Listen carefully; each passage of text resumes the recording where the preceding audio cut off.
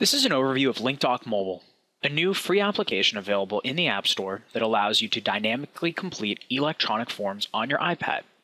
In this example, we'll walk you through an IRS W4 form. This is a form that helps calculate the right amount of income tax to be withheld from every paycheck. And most organizations are going to complete this on an annual basis with all employees as situations change. With LincDoc, users are going to be guided through the process of filling out this form and contextually based on what they answer. For example, the marital status is single or married is going to drive the next questions that come. So your users will only be asked the, the questions that are relevant to the process at hand. We also can place contextual help. So clicking on the green question marks will allow people to explore additional information right on the device.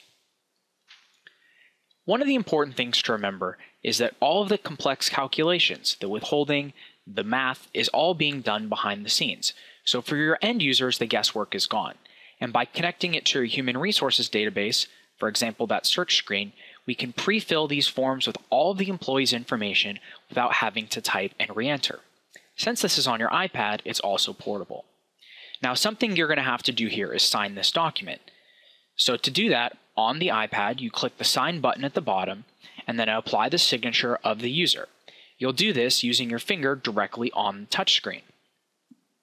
So it is your signature. This is a biometric signature. You press submit, and that signature will then be applied to that original document. So with LincDoc, we walk someone through filling it out, and then we place all the information in that original document. So the look and feel is identical to the paper forms you do today. For more information, please visit lincware.com to arrange a custom demonstration for your organization.